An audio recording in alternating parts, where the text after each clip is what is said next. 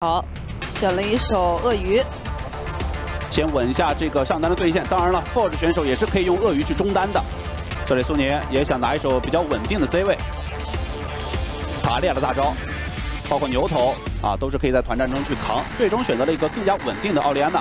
本场 BO 三是由 Rita 和王多多为您带来的直播评述。一开始骚粉在野区想先撸 Forge 一套，是的。但后续的话看到了 Harry 只能往中路赶来。嗯，有惩戒的情况下，应该这个河蟹是不太可能被过来的 Harry 所抢掉，最后是稳稳交出惩戒。这边还要黏着你打一套，已经拍晕，烫一套伤害。Harry 选了有点低，交闪现跟闪直接杀了，拿到一血。是啊，而且下半局同时牛头一阵两个想保一下 Betty，这波牛头也把自己的闪现给打了出来，并没有特别上头。呃，要看下一个红怒 W，就是这里了。哎，上来了。但是这个岩珠感觉不太好接。哦，严肃不好接。区并没有更多东西要刷，所以 Haro 选择还是来上路找找机会。嗯，因为他知道下半野区不好去打呀。牛头二连起来，挂了个点燃，但是后续的伤害看一下能不能跟到呢？Q 技能。但 EZ 是没有六级的，没有办法跟上精准弹幕。是的，差一丝，但是这波血量打的还是不错的。呃，要看 EZ，我感觉是两个兵到六级啊，会不会打打两个兵到六级？但是这边。这个讨厌的乌迪尔来了，回去了。对，就辅助在中路，哎，这个位置又拦到了 Haro。哦，有这个小走位，骚粉打的好细呀！骚粉刚才一个半厘米的走位，躲过了这个岩托，又把人头给拿到。Haro 继续回野区。哎呦，他好细节，他们没被看见。问题是减速一下，但是被拍晕了，交闪现。那这边直接要先手到 RW 的几个队友了。就打了辅助一套，哇直接闪现加 E 接 W，还两个卡牌，总算是大招落地，但是也给予不了对手队友，而且骚粉现在就一个人是吧？一夫当关卡在你的野区，让你回家都回不了，仿佛让这太疲了，仿佛让我们看到在世界赛时候那个皇子一样，就守着自己队友去推塔就可以了。对，先进攻一座二塔，同时骚粉他就一直在旁边给压力。有大招拉完，牛头想卖掉自己了，只能。对的，这波要保一下队友吧，至少顶上去再说。是。哎，在找人，看到你有一小过来，先打你一套。卡牌感觉也不太好去落啊。啊，落在中路线上了。呃，落在一个比较安全的位置。这个位置，这个入口至少是比较狭窄，但是骚粉又是一马当先，先给辅助一手完成。还不错，而且怒气也可以。这波再往前走的话，可能就要碰到那儿了。已经要碰到那儿了，之前已经秒杀了打野塔利亚。蓝色方的阵型被完全的分割，招太郎也落单了。虽然说进化解了一手，但是自己还是要被连环的控制。红 buff 还能继续的粘他，两个人在追他。有一个跑得超快的骚粉，同时纳尔后续也跟上，或者再也无路可走。而 RW 三个人想强行的抢一波，海克斯闪现过来，牛头顶三个，白里的输出位置不错，他想表示要先打小龙，但是小龙啊依旧是被稳中加稳的骚粉给惩下来了。哎呦，这 RW 太难受了，自己放手一波想抢一条龙都没能成功。龙掉了之后，后续 Betty 的一个位置也比较的尴尬。三个人在蹲，Betty 在勾引，看到纳尔过来，草里有三个人。这个纳尔好肉啊！一个再唱一个大招，居然这都没杀到阿斌，而一边安手已经绕后了，落一台，抬到了前排，两个人，幻风在后面直接输出拉满，先找一手 EZ，EZ 已经成功的被秒了，而另一边 Ziv 想去粘下后排的 Angel，，二段一技能，但他迎接他的只有四个人的围追堵截，纳尔拿到这个人头，而镜头一切来到屏幕的左侧 s o v e n 也对后排进行了一波屠杀，将塔利亚给带走，那十一比零的分差，苏宁可能要直接。带着大龙 buff 结束掉这场比赛了。是的，感觉要一波了。甚至小白还带着队友一起堵在泉水，要进一步去干扰 RW 的防守。那我们恭喜苏宁，在第一场比赛中二十六分钟非常轻松的将比赛拿下，一比零暂时领先对手 RW。是的。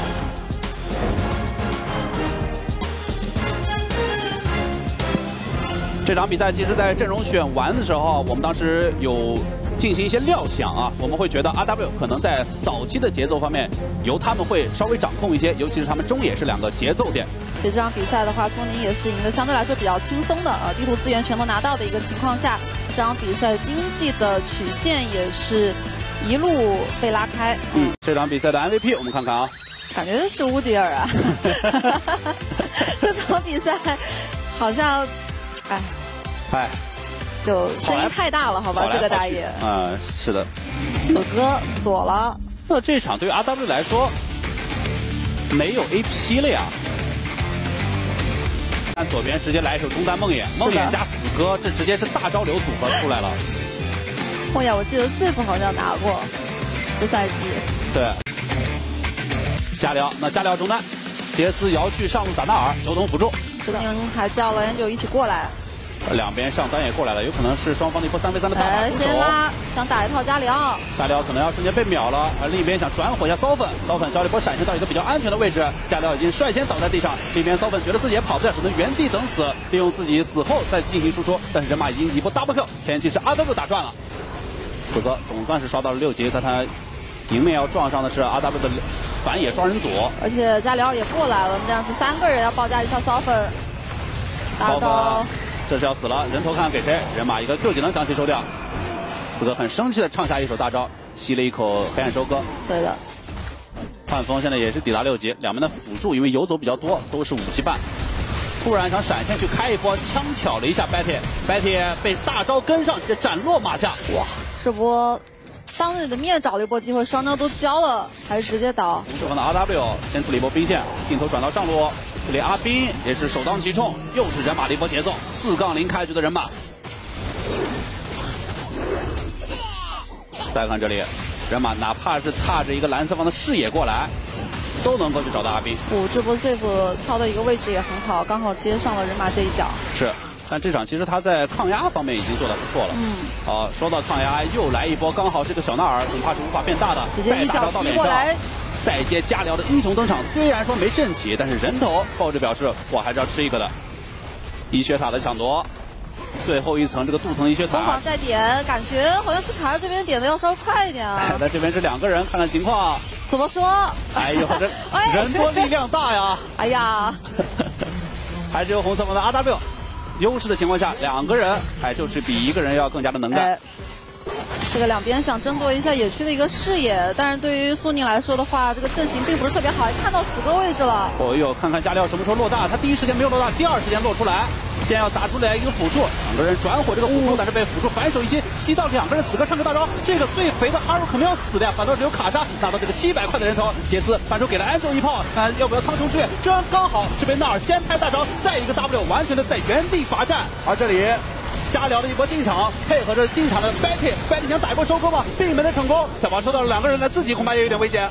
在九筒出来的一个位置看到了 Angel，但这一波的话毕竟是一个小龙的一个争夺啊，所以两边又继续围绕在下半区。是，但是有一些不同的是，卡莎在上一场团战中是收获了三个人头。对的，收集者也猫了出来。哎，战力是有一个很大的提升的。哎，但依然现在 Haro。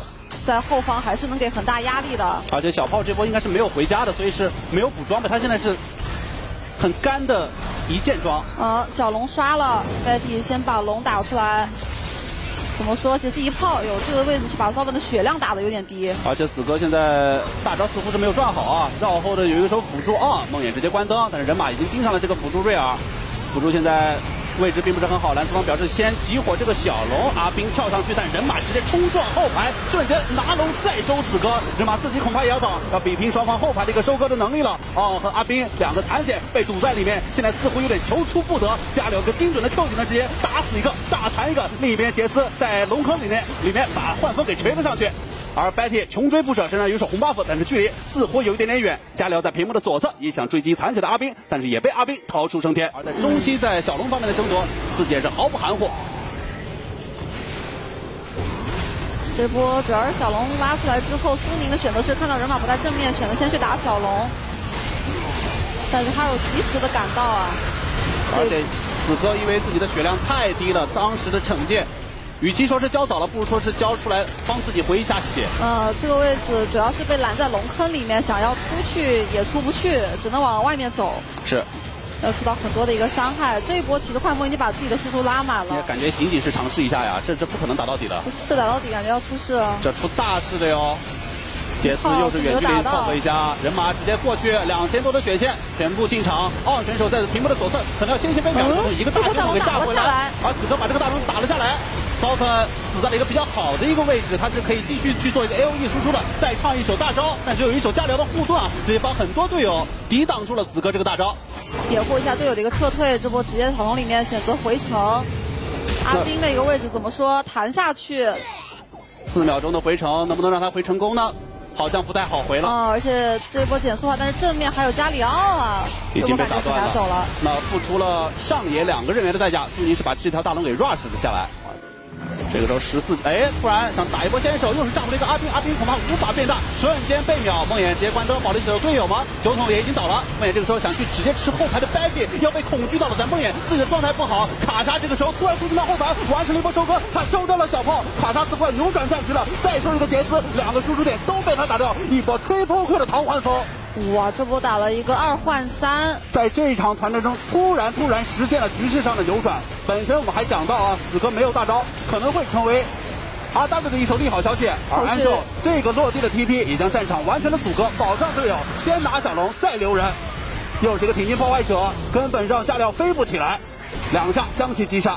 这波人马的话，也只能是回撤去清兵了。古龙，本身我们会觉得死哥。没有大招似乎不太好接，同时这里还能先秒一个纳尔，感觉苏宁似乎是要爆炸了。这波进场，瑞尔是开到两个人，加里奥原地金身之后，队友已经被分割了。好，这里换风，瞅准时机，在梦魇已经无力再战的情况下，自己深入后排秒掉小炮，再杀杰斯。是的。哈若。不太高兴，想再去被 E 了，但是这个位置想冲一下换风，但是换风拉开了身位。哇，这一波脱节了呀！纳尔和人马打了一波互换，这波有点怪啊。现在对 R W 的问题就是怎么能在团战开始的时候先处理掉幻风这个卡莎，是才有机会打赢这波团。梦魇又是先关灯，帮助卡莎直接去找位置输出。卡莎已经先行秒掉一手杰斯，人马直接到后排，造成了很大的一个混乱。卡莎已经瞬间被秒了，这个哈肉关键时候又是他站了出来，一个大招直接毁天灭地。纳尔强行一拍，但是只能延缓自己的阵亡吗？两个人穷追不舍，再次有人马踢到他的脸上。人马还在继续的追他，应该再等一个 Q 技能。但是被 E 了一下在塔下，但应该还是跑不了。没有 Q。这两个人哦，这里啊是。也得说下嘛这个位置想要留下人，换掉人马之后，后续兵的状态不是很好了。Betty 跳了上来，那这样二塔应该也是要被推掉的。瑞尔这里打的很关键啊。现在其实就是拼一波的一个爆发，看能不能换掉更多的人。我们再看这里，一开始卡莎的输出位置非常不错，打掉一手杰斯，但是这几个人啊。太集中了，人马一个大招全部恐惧。是，先是酒桶的一个肚皮，再加上人马的进场，直接融化了苏宁的后排。但这段时间应该是大龙要刷新的时间了。嗯。两边又面临着一波五 v 五的团战。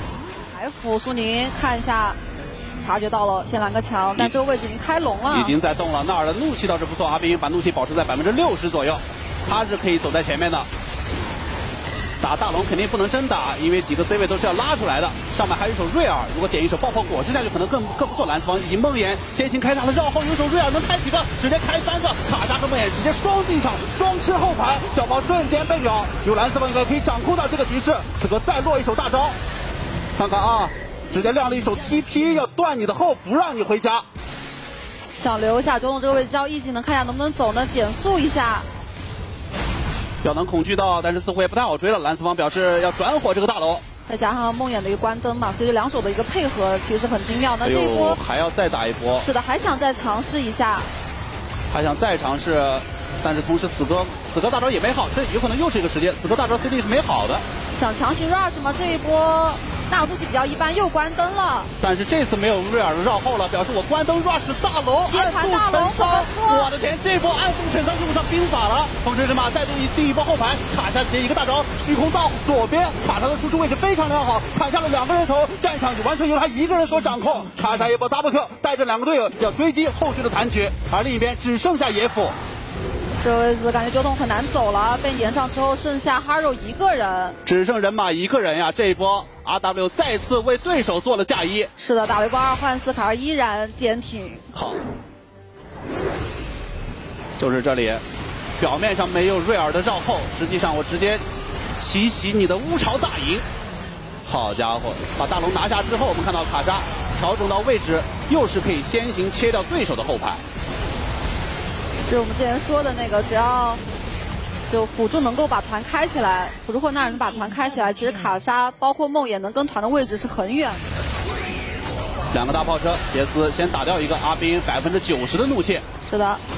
正面的话就守着炮车点一点高地塔，中路的兵线马上也要过来了。是，最后大龙 buff 的十秒钟再续一波兵线上来，有可能苏宁想一鼓作气推掉这一路的。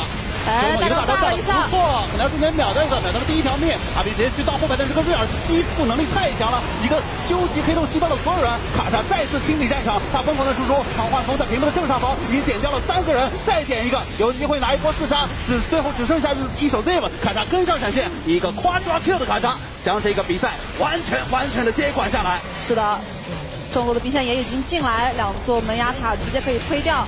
哇，我们要恭喜苏宁在这场面对 RW 的。BO 三中二比零拿下比赛的第二局中完成翻盘。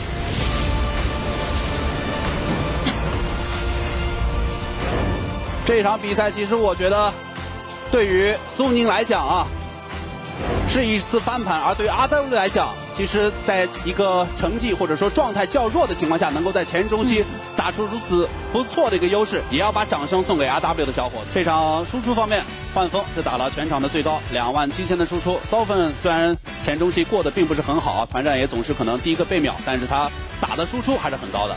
对的，我们一起来看一下吧啊，最后只给到了幻风的呃。卡莎十七杠二的华丽数据啊！嗯，这场比赛的参团率也是来到了百分之九十二，以及伤害占比来到了全队的百分之三十。啊啊，伤害转化率也是非常高的，百分之一百三十六点三。好的，各位，欢迎来到我们的赛后采访环节，我是主持人刘航。首先，我们要恭喜苏宁拿下了这一场比赛的胜利。来到我们赛后采访区的嘉宾是苏宁的上单选手冰，欢迎冰来先跟大家打一个招呼。嗯，大家好，我是苏宁站的上单冰，欢迎冰。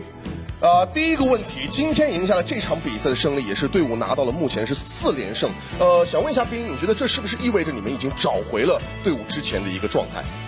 嗯，我觉得我们现在的状态相比于年前就是好了很多吧，但是我觉得还是有很大的进步空间的。我们以后状态就会越来越好。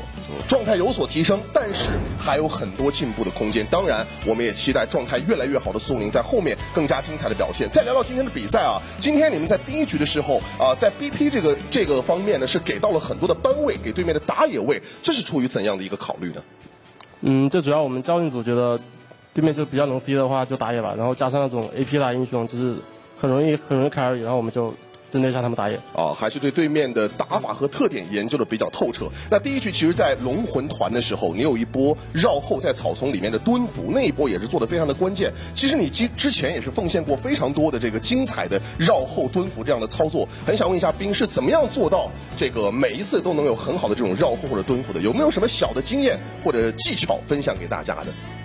嗯，主要的话就是多看小地图，然后带扫描。多看对面人的位置，然后找到这种没有人的地方去去蹲着。多看小地图，要带好扫描，做好视野，非常的关键。那今天的第二局，你们是在最后锁下了死哥加上梦魇这样的一个中野的组合。第二局最后这样的一个选择是出于怎样的一个战术上的考虑呢？就主要我们训练赛也有练这个练练这个阵容吧，然后比赛的话就想练一下新阵容。就就这个尝试一下新的阵容。其实我们也会发现，啊，这个赛季苏宁也一直不断的在尝试拿一些新的阵容、新的打法。我觉得这样的这种自信和勇敢也是值得肯定的哈。那下一个问题，今天其实第二局比赛你们前期是有一定的劣势的，二十一分钟左右那波 rush 大龙应该说非常的果断。当时那波 rush 大龙是谁做的决策？你们当时队伍内部是怎么样去考虑和沟通的？那波的话，就是我们劣势很大，然后我们阵容就是比较偏向打团的阵容，然后不打团其实也没有什么机会赢。然后我们阵容其实打大龙挺快的，然后少文就做出判断让我们去去 rush 大龙，然后拼惩戒，这样。拼的话是有机会赢的哦，主要是骚粉在那一波做出了一个非常非常关键的决策。呃，那其实我有注意到信息嘛，就是 Fury 他是在年后又重新回归到了教练组，加入了你们。呃，很想问一下冰，你觉得 Fury 回归之后对你们做出了哪些方面的调整？你觉得他回归之后带来的最大的改变是什么？我觉得 Fury 助教的话，就是主要就是就让我们下路的实力会增加很多，因为他有很多经验，然后分享给我们下路的，比如说复盘的时候。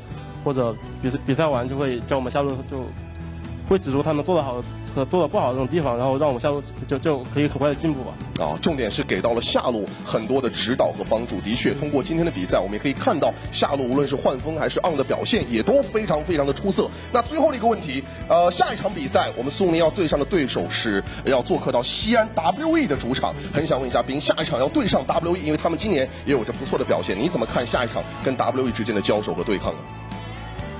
嗯，下一场的话就是比较关键嘛，对于我们来说。然后我们我们也是都都很想都很想赢下 WE，所以我们下一场就是尽全力准备了。